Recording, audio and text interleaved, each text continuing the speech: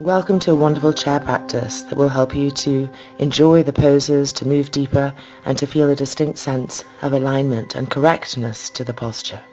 So we're going to start our seated meditation sitting on the chair, using the chair to feel a nice, tall, erect spine. And then turn the palms up so they face the sky. Roll the front shoulders back and close the eyes.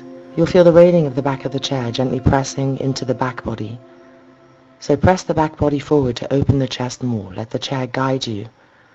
And with the inhalation, lift the front spine and roll the shoulders back. So more and more length, more and more tallness is coming to the front spine.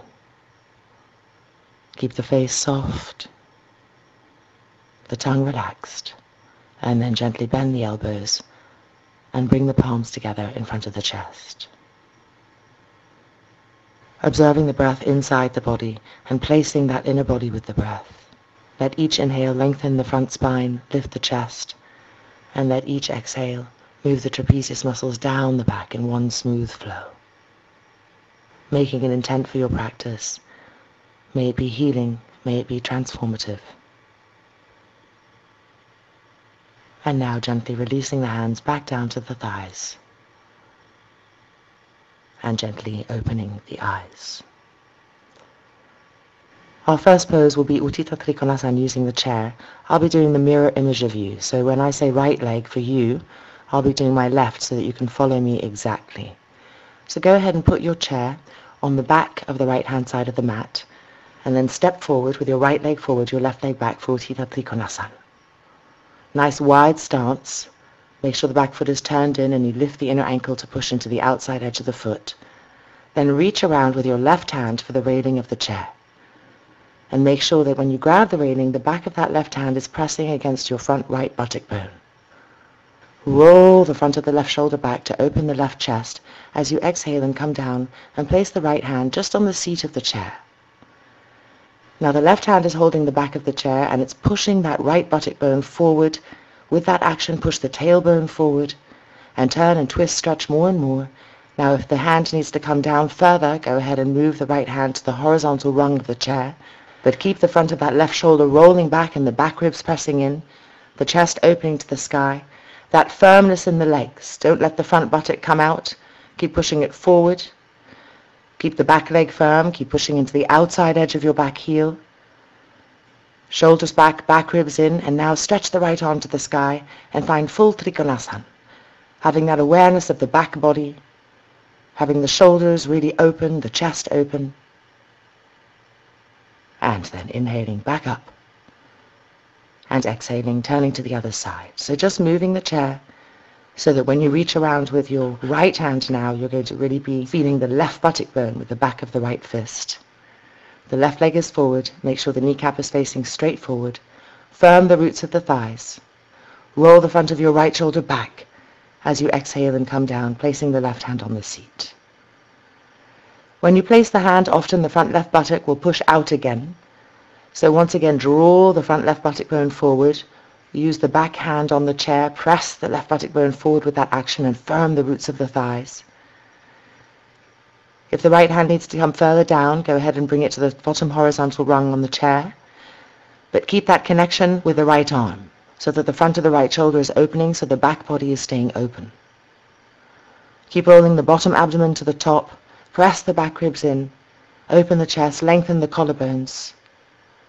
Thighs firm. Feet alert as you stretch the right arm to the sky. Allow the front face to rest in the back skull so the neck is not tense. Keep stretching the arms apart. Keep moving the left buttock bone forward. And then inhaling back up. And exhale, release. Coming now to Virabhadrasana 2. So we're going to be sitting on the chair. So I've made my chair in front of me this time. And now turn your left foot in and your right foot to the front. Make sure to lift the back inner ankle and push into the outside edge of that back foot. The front right kneecap is facing completely forward. Tailbone forward, pubic bone up. And begin to exhale and make a square with that front leg as you would for Virabhadrasana 2 normally. But having the hands on the railing of the chair, move the chair if need be so that when you come down to your lunge, the chair is there to hold you.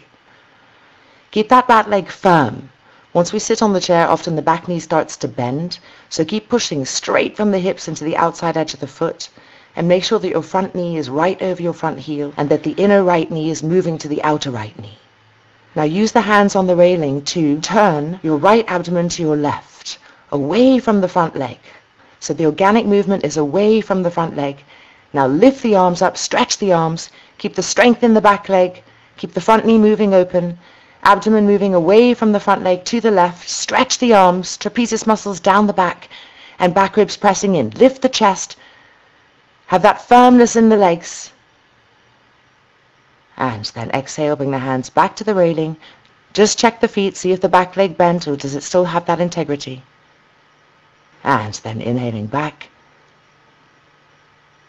and preparing to change sides.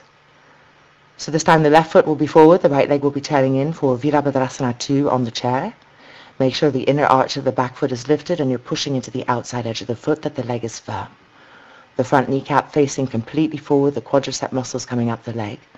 Roll already the left abdomen to the right, away from the descending bending knee, and begin to lunge to Virabhadrasana 2.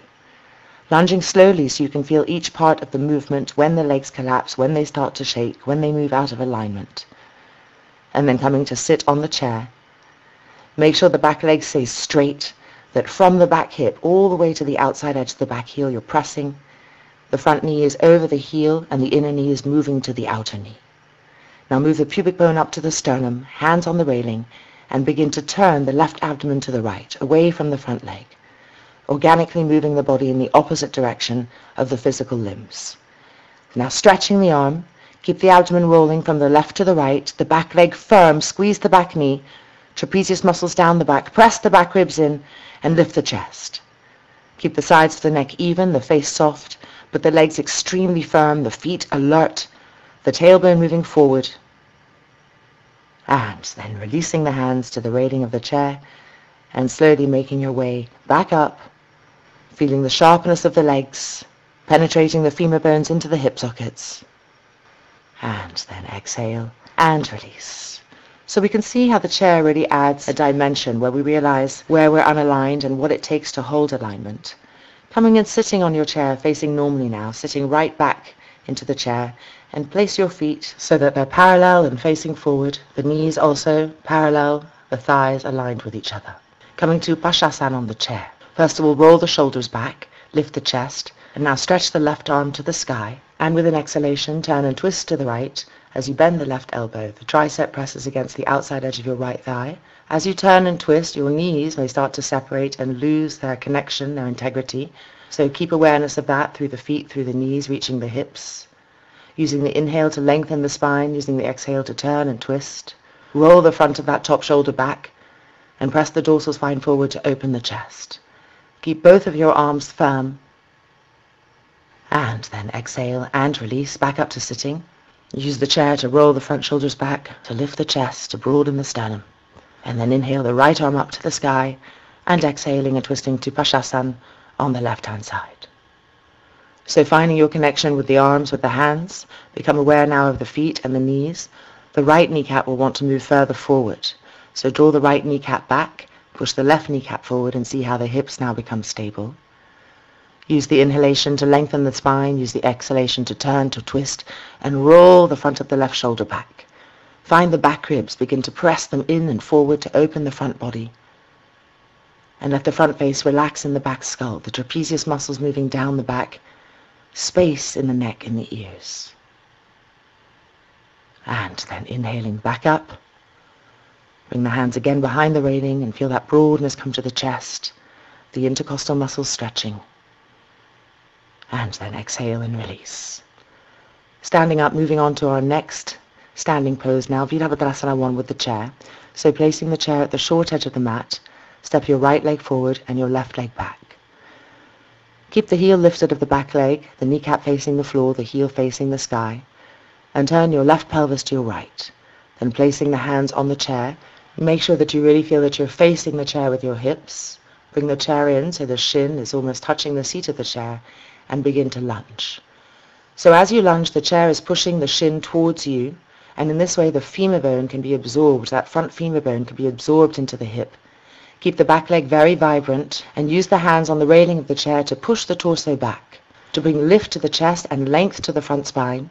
Head back, trapezius muscles down the back. Keep moving the tailbone forward and lifting the pubic bone up to the sternum bone. Stretch the back leg. And then slowly, gently, straighten the front leg. And exhale and release. Changing sides, the left leg is forward, the right leg is back now, the heel is lifted, the back knee is straight, the knee is facing the sky. Make sure your hips are really facing the short edge of the mat, that they're facing the chair, and then putting the hands on the top railing. Begin to lunge that front knee, the left knee, and when the shin meets the chair, allow the chair to push the shin towards you to absorb the left femur bone into the hip socket. Make that connection. Now press into your hands to lift the chest up, to roll the shoulders back and begin to arch and move the trunk backwards so the front trunk becomes longer and more stretched. Allow the head to move back, the trapezius muscles flowing down the back. Keep the back leg very straight, the inner knee squeezed, the thighs stretched. And then inhaling back up. And exhale, step the right leg in. And we're going to find Uttanasana using the chair. So the feet are the width of the mat. Make sure that they're parallel facing forward. The wrists are on the railing of the chair. And you want to be far back enough that your hips are right over your feet, not over the toes. Lift the arches of the feet up, lift the inner ankles, lift the kneecaps up, lift the quadricep muscles up. Make that connection of the thigh bone into the hips.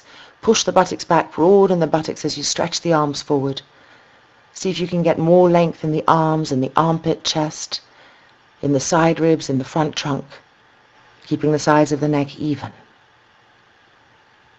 and then inhaling back up and exhaling, releasing. We're now going to be using the chair in a fun, unusual way. We're going to turn it upside down. So go ahead and take the chair and flip it so that the seat is facing the mat, the top of the chair away from you and the bottom of the seat close to your feet. Remember I'm doing the mirror image of you, so if you're getting confused, just look at how I'm placing my chair, where I'm placing it, and copy that exactly on your mat. Now go ahead and step your right foot up onto the seat of the chair so the foot is lifted naturally and move the left leg back and turn the foot in, lifting the inner arch and pushing into the outside edge of the foot. Roll the right abdomen to the left, away from the front leg. Roll the shoulders back, inhale, lift the chest. Stretch the arms, inhale, and exhale and begin to make a square, a lunge with the front leg. As you lunge down with that front foot lifted, you'll be able to have more sensation of drawing the femur bone into the hip socket, of deepening the front groin, and now reaching down and place the right hand on the railing of the chair and stretch the left arm up to the sky. So we find Parshva Konasana with the chair. Keep lifting that front foot with the action of the seat to feel how the femur bone integrates into the hip socket over and over again as you stretch the left arm diagonally over to the right. Roll the shoulders back and roll the bottom abdomen to the top. Keep the back leg firm, pushing into the outside edge of the back heel, using each exhale to create more openness, more twisting to the sky. Lock the elbows, stretch the fingertips. And then inhaling slowly back up, having that awareness even as you come out of the pose. And then exhaling and releasing. So changing legs now, moving the chair to the other side of the mat, the left-hand side of the mat. Go ahead and place your left foot onto the chair and step your right leg all the way back so you have a nice wide stance. Make sure that the back foot is turned in and that you're lifting the inner ankle and pushing into the outside edge of the foot. And draw the quadricep muscles up the legs, the front kneecap facing forward. Roll the front, the left abdomen to the right, away from the front leg, shoulders back, chest lifted. Preparing, inhaling, lifting the arms.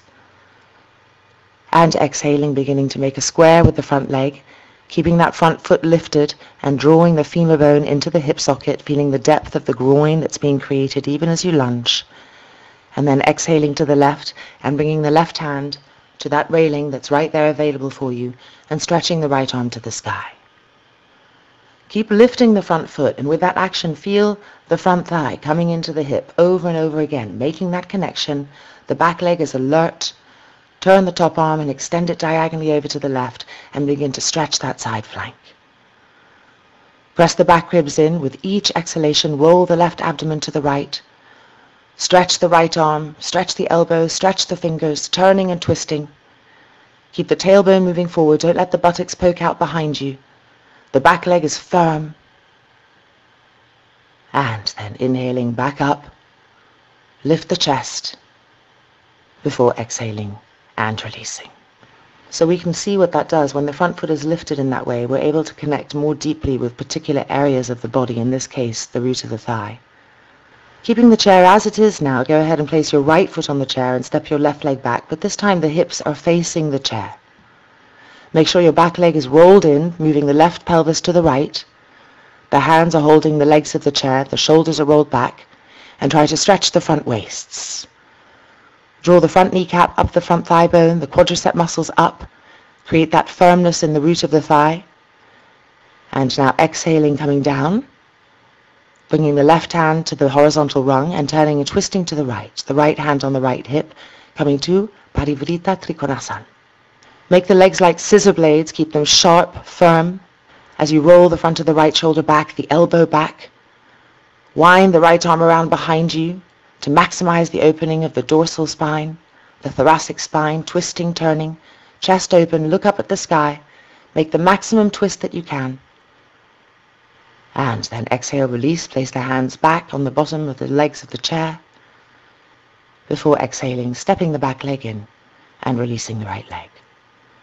Changing sides, bring the left foot onto the seat of the chair and move the right leg all the way back. Make sure the back leg is turned in and the right pelvis is moving to the left.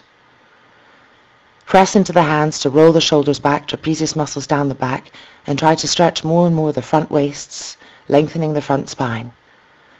Keep the legs firm. Visualize scissor blades as your thighs, so you're keeping that firmness, and keep drawing the left thigh into the hip socket as you turn now to the right, placing the right hand on the horizontal rung, left hand on the hip finding half Parivrtta Trikonasana, roll the front of your left shoulder back and have that awareness of how the hips are facing, using the chair as reference point. Keep the roots of the thighs firm, keep turning, twisting, pressing the back ribs in to open the chest. And now wind the left arm around even further behind you and try to find more twist in the thoracic spine and the dorsal spine.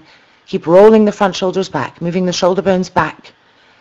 Legs firm, back heel charged,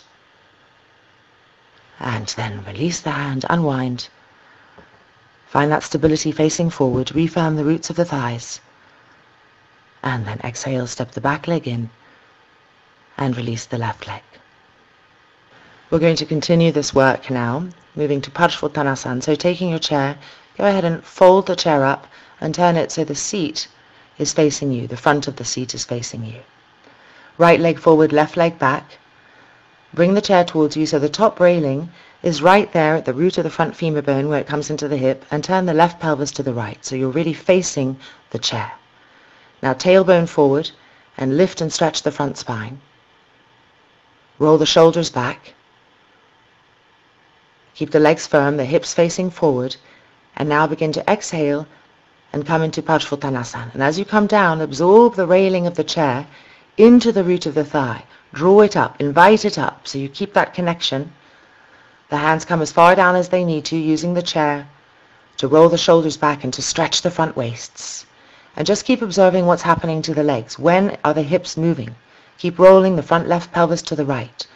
Sucking the top railing of the chair into the hip socket with the action of the right quadricep. Press the back ribs in to press the chest open to the chair without losing that connection of the femur bone. The fingertips can come to the floor if need be, or they can keep holding onto the chair. Keep the sides of the neck even. The trapezius muscles moving down the back.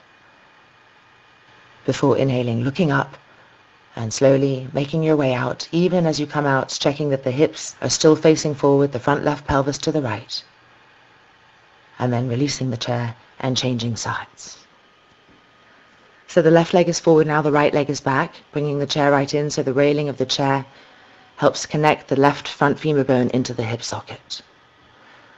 Move the tailbone forward and with this action stretch the front abdomen. Shoulders back, chest lifted. Keep the roots of the thighs firm. The right front pelvis bone moving to the left as you exhale and gently make your way forward to Parshvottanasana. As you come down, you'll feel the front of that left thigh possibly bulging and pushing the chair away Keep drawing the quadricep muscles up and drawing the chair into the action of the pose. In this way, deepening that connection of the front groin, making that experience, that understanding. Keep the trapezius muscles moving down the back and the front waist's long. Don't make a C shape with the spine. Walking the fingertips as far forward as they need to for your maximum stretch. The back thigh is rolling in, the front right pelvis is still moving to the left, feeling the action of both of the pelvic bones. As you exhale and come forward, sternum towards the chair, forehead towards the chair, press the back ribs in, and have a few smooth breaths. Before inhaling, looking up, gently making your way out, making sure the hips are still facing forward as you come out. Shoulders back, chest open, observing that state of inner expansion. And then releasing and moving the chair away from the thigh. So unfold the chair so it's a chair again now. Make sure it's unfolded all the way and it's stable. And come to half Uttanasana with the wrists on the chair. The hips right above the feet. The feet are completely parallel, facing forward. Lift the inner arches of the feet. Lift the inner ankles. Lift the inner ankles to the inner knees, the inner knees to the inner groins, and the inner groins into the hips. Lift up. Lengthen the inner groins up. Keep stretching the arms, squeezing the elbows straight, keeping the shoulders broad, and pressing the back ribs in. And now coming up, and turning the chair so you can sit on it facing normally. Pashasana, so make sure your feet are facing forward, your knees are facing forward, your thighs are parallel. Inhale the left arm up to the sky, and this time, as you twist, come all the way across so your armpit meets the thigh and you can hold the bottom leg of the chair. And then wind that top arm around as far as it can behind you, rolling the front of the right shoulder back. So it's a deeper Pashasana than the first one that we did. Try to parallelize your knees to remain aware of the hips, of keeping them even as you turn and twist. Use the inhalation to lengthen the front spine. Use the exhalation to roll to twist. The left abdomen rolling to the right. The left lung rolling to the right. And releasing. Rolling the shoulders back. Lifting the chest, relaxing the abdomen. Before inhaling and lifting the right arm to the sky and exhaling and turning and twisting Pashasana on the left. So coming right across so the armpit comes close to the outside edge of the thigh, you're holding the front leg of the chair. The left hand is moving back as far possible to help you to turn, roll the front of the left shoulder back and press the back ribs in as you exhale and twist. Use the inhale to lengthen and the exhale to twist more and more. Check that your knees still have that idea of connection so the hips remain stable. Soften the jaw and the tongue don't allow the throat to be tense with the effort of twisting. Letting the organs roll, letting the organic body move, be cleansed, be vascularized. And then gently releasing, rolling the hands behind the railing of the chair to get that extra lift, the broadness in the side ribs. Just observe. And then release. Now turning around and hook your legs over the top railing of the chair so you're facing backwards. And now lifting the left arm up, exhale and turn and twist to the right. And again, find the outside edge of that thigh in a very similar action. And walk that right hand back so you're holding the side of the seat.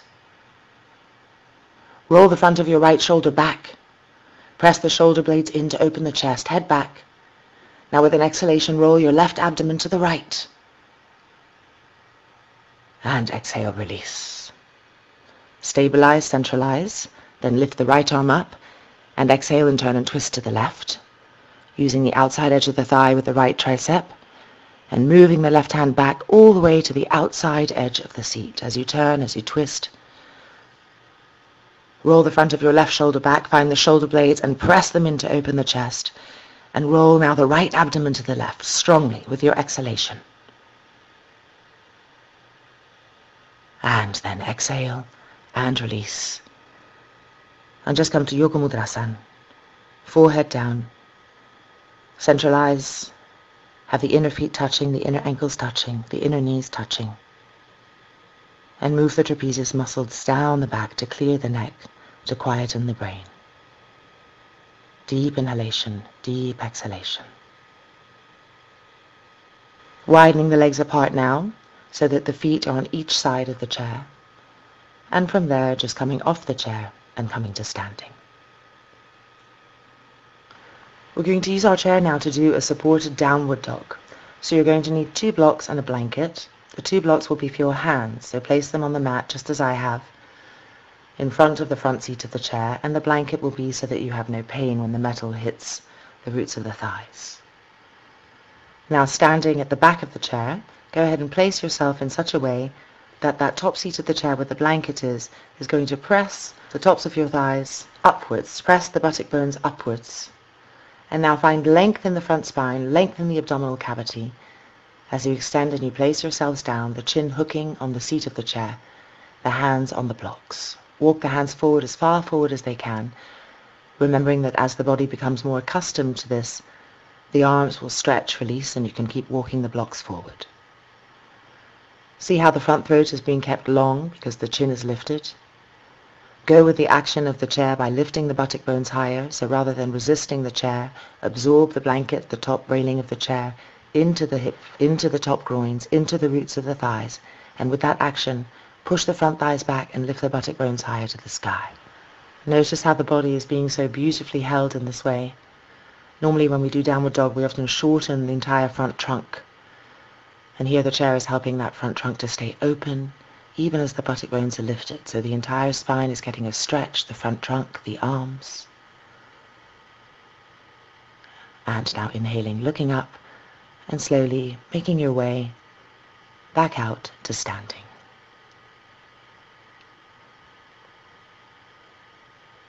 We're going to be coming to some fabulous supported back bends on the chair now. So you're going to need a little bit more equipment. You'll need a bolster, a strap, and two blankets. One blanket is for comfort. This is the blanket that goes on the seat of the chair. The bolster is to place your head on when you go backwards, and the blanket is just to give a little height to the bolster in case your head doesn't quite reach the bolster. Then taking your strap, go ahead and seat yourself in the chair so that you're facing backwards, so you thread the legs through the back seat of the chair. The strap is going to come around the thighs, tightening it up so that the thighs stay parallel and the knees don't roll out. Have the buckle right in the middle of the thigh so the buckle doesn't hurt the flesh. Now we need to move our buttocks all the way forward to the front seat of the chair so that it helps to move the tailbone, the sacrum towards the feet, and the other seat of the chair will help to push the shoulder blades in. So go ahead and start to lie down by moving the buttocks forward until you find that front seat of the chair lying back until you feel the other seat pressing against the shoulder blades, a little bit on the bottom part of the shoulder blades, not too far up.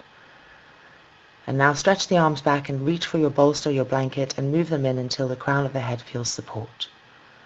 Then thread the arms underneath the chair, inside the chair, and reach for the hands with the back railing, rolling the front shoulders back, and then go ahead and stretch the legs straight. Keeping the feet hip distance apart, heels down, toes up, feet alert, stretching the legs. And here we are in our supported Viparita Dandasana. Very important to use the chair to guide the body, to directionalize the body, not to just lie there passively. So keep moving the sacrum towards the heels, bringing the pubic bone up to the front throat, rolling the front shoulders back, and using that part of the chair that's pressing into the upper back, into the shoulder blades, to see what it means to dig the upper back in, to dig the back ribs in to get that curvature in the upper back that opens the chest.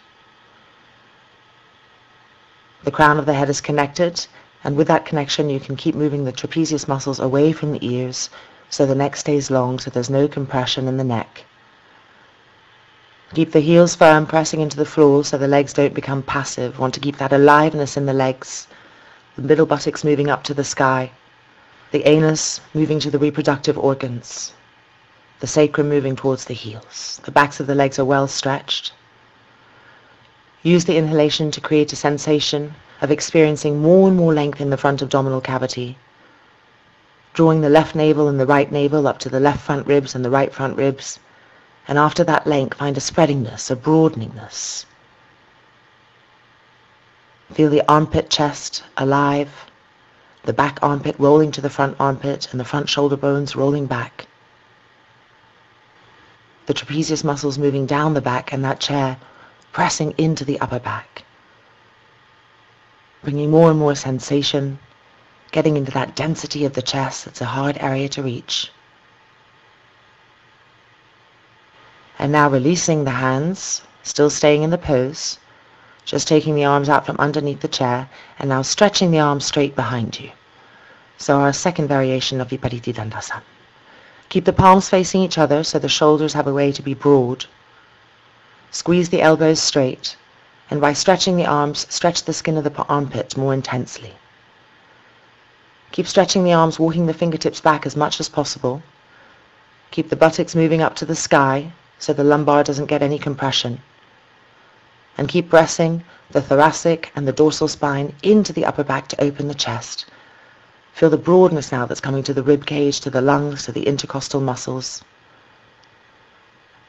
And allow the front face to recede into the back skull, the eyes to move backwards before bending the elbows and with your fingertips holding onto your elbows to your upper arms, the forearms resting on the bolster behind the head. Now use your fingertips to pull your elbow tips in two directions, to the wall behind you and down to the floor. And as you do this, you'll find length coming to the side waist, length coming to the armpits. Now press the shoulder blades in as you move the elbow tips to the floor. And now you find an extra broadness, an extra lift an extra opening coming to the chest. What's happening to the feet, to the toes? Now change the cross of your arms, so doing the other side, and again begin to pull the skin of the elbows to the wall behind you and down to the floor as you press the shoulder blades in, making that imprint of the chest, placing it from inside. The sides of the neck are even and the tongue is passive, descending into the throat. Keep using the chair to maximize your posture, not being in conflict with it, but absorbing the teaching of it into the cells of the body. And now re-stretch the arms straight behind you, palms facing each other, shoulders moving away from the ears. Find that broadness. Squeeze the elbows straight. Stretch the body to its maximum capacity. Press the heels down, stretch the arms, stretch the fingertips away from you, press the back body in, Press the middle buttocks up and observe what's happened to the breath. Have that smoothness that relaxes the nervous system so that the effect of the posture is deep. Keep stretching the arms to stretch the waist, stretching the legs to stretch the waist. And now bending the elbows, go ahead and reach with your hands for the top railing of the chair in front of you. Bend the knees so the soles of the feet are on the floor, but still keep lying down. We're not coming out just yet and remove the sacrum towards the knees to relieve any tension you might have taken on in the lumbar spine. Just observe, centralize, neutralize again. Feel evenness between left, between right. We're going to be coming from here to supported Kapotasana. So you're now going to slide yourselves backwards so the buttocks are moving forwards until your knees and your shins can come onto the floor. And your upper back is still on the seat of the chair, so you're coming through with the torso underneath that railing. Take your time coming into it, feeling until comfortably the tops of the feet can rest, the buttocks on the heels, and you'll feel a distinct archingness in the upper back, at which point you'll bring the arms back, bending the elbows and holding onto your elbow tips. Supported Kapotasana. Press the roots of the thighs down, don't let the thighs come up, don't let the buttocks come up. And as the roots of the thighs press down, from there you can better stretch the front waists, the front spine, the abdominal cavity. Keep pulling the tips of the elbows back to the wall behind you and down to the floor as you press the shoulder blades in and up, in and up, penetrating the armpit chest more deeply. Keep the sides of the neck even as you re-stretch the arms behind you. Parallelize, palms facing each other, shoulders broad, and change the cross of the arms. Supported Kapotasana on the other side. Avoid pushing the chin up, avoid bulging the forehead up, keep allowing the entire front face to recede into the back skull. Keep the roots of the thighs pressing down, the buttocks heavy. Stretching the front waists, stretching the abdominal cavity, bringing space to the organs, length to the anterior spine. Keep allowing the back body to flow downwards from the trapezius muscles to the hips with each exhalation and press the dorsal spine, the shoulder blades in to open the chest. Keep the fingertips firm, pulling the tips of the elbows back and down, back and down, stretching the tricep, the armpit skin, the armpit chest. And now exhale, release the hands, and with your hands hold the railing in front of your chest. And don't think about sliding out of the chair, it's very easy to come up. You're just going to sit up and as you come up, you're going to push with your hands the chair down so the chair moves with you and the seat of the chair will now be supporting your back body. The railing of the front chair is pressing into the front thighs and you press down with the hands to roll the shoulders back and to have that length to the front chest and that openness. Feel the seat supporting the back body, gently pressing it in, bringing that firmness that stabilizes and opens the front body more. Coming from here to Baddha so turning and twisting to the right, the left hand holds the railing, the right hand reaches behind for the leg of the chair, and the seat of the chair is pressing the back ribs in as you turn and twist, rolling the front shoulders back, roots of the thighs pressing down. And now exhaling, releasing, turning and twisting Baddha on the left-hand side. Using the left hand on the back leg of the chair, rolling the front of the left shoulder back. Right arm is pulling. Allow the seat to press the back ribs in as you turn and twist around that so you feel much more openness in the chest that you might normally in a Baddha Soft and relaxed breath as you exhale and release back to the front. So a nice big sequence there. We can feel a definitive shift, a shaping of the body, an energetic expansion. We're going to be coming out now, so this can be a little bit awkward. Just make your way out, whatever works for you. Remember to move your straps first, or you'll feel very stuck and we'll be making ourselves ready now for Shavasana using the chair, our last and final pose. So moving your bolster, moving your strap, moving one of your blankets, and having the other blanket on the chair so that the metal of the chair doesn't create a coldness in the calf.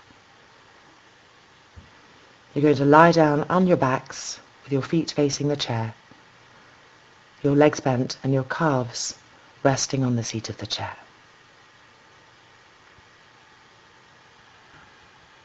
The legs should be completely comfortable. The knees should be allowed to widen. Roll the shoulders back one at a time with the palms facing up to the sky so the back body is supported on the floor and the chest is open. And close the eyes. Observe that you're resting right on the middle of the back of the skull so the sides of the neck are even. Soften the face Allow the eyeballs to rest completely in the eye sockets. Make the tongue passive and let the lower jaw hang off the top jaw in complete softness. If there's any arch in the lower back, make sure to move the buttocks towards the chair so the lower back is completely supported. And once the lower back is completely supported, the abdomen will then begin to relax and rest on the spine.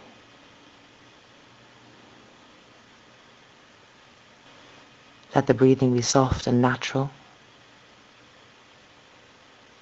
And with each exhalation, make the body more and more passive, more and more inert. Surrendering completely to the flow of gravity. Melting into the flow.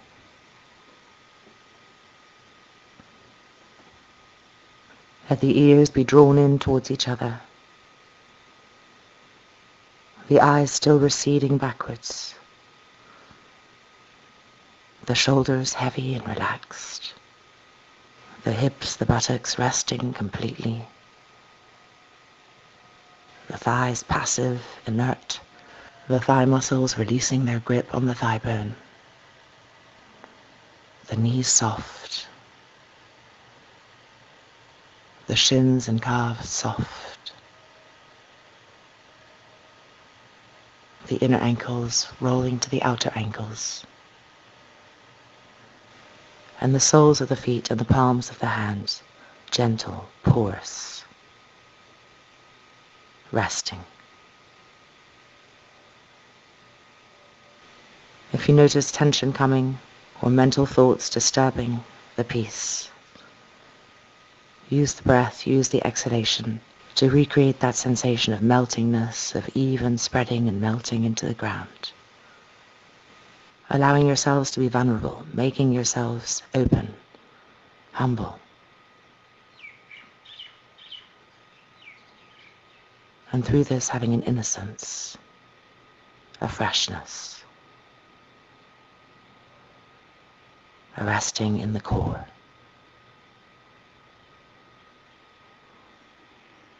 Observe that peacefulness. Observe the lightness that comes from having this heaviness, this inertness.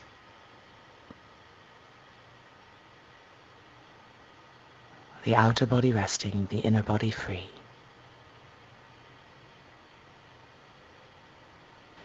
The mind smooth, clear. filled with the awareness of this experience,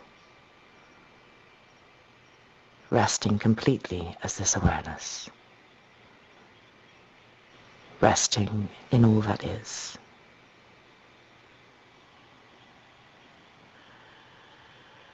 And then slowly, gently, without disturbing yourselves, just begin to wiggle the fingers,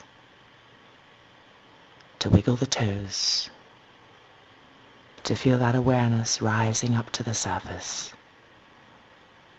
A little more movement, moving the ankles. Before gently bending the knees towards you. Inner feet touching, inner knees touching. Feel that symmetry between left, between right. Feel the awareness slowly rising up to the surface before gently rolling over to the right hand side and coming to sit one last time in Vajrasan with the seat of the chair right behind you. Reach with the hands, roll the shoulders back, chest lifted, and place the backs of the hands on the roots of the thighs with the palms turned open to the sky. Observe the difference in the inner space of the body resting in that awareness, resting in that observation. Brain quiet and breath smooth and even. Using the inhalation to recreate a sensation, an experience of length in the front spine and the chest. And using the exhalation so that the trapezius muscles and the shoulder blades flow down the back towards the hips. having the awareness of that inner loop, the inhale rising up, the exhale flowing down. The eyes receding, the eardrums being drawn in towards each other, as if in a faraway place, observing all of this and more from a distance, the sensations inside the body, the sensations outside the body. The sounds that are being heard, the tastes that are being tasted. Observing all of these at the same time. Everything changing, everything flowing, a rich experience.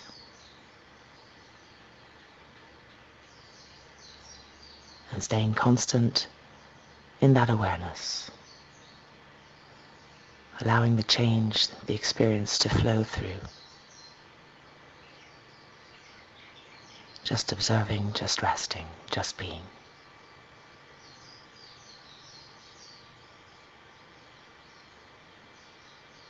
And then when you feel ready, gently allow the eyelids to open,